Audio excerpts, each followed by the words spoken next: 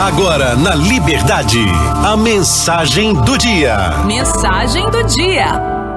Olha, se dê um tempo, afaste o olhar das coisas que te prendem, se distancie do que te impede de voar. Muitas vezes, o que a gente precisa é de um tempo para recuperar o fôlego e seguir adiante.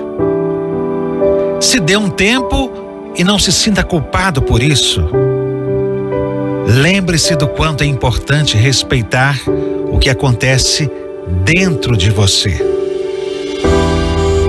Dê um tempo e não fique mal por se afastar de quem não te faz bem. Não acha que é imaturidade excluir ou bloquear. É em você que machuca. E acredite, não vai parar de doer se você continuar permitindo que a outra pessoa coloque o dedo na sua ferida. Dê-se um tempo. Respire, chore, desabafe e pergunte os porquês de sentir-se assim.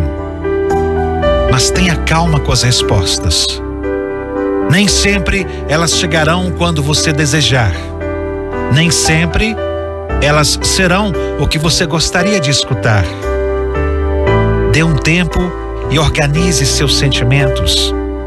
Dê um tempo e observe o que te rodeia e quem você tem por perto.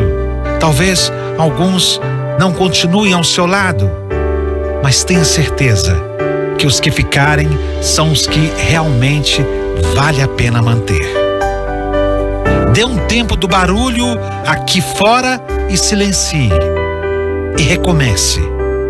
Muitas vezes o que a gente precisa é dar tempo ao tempo.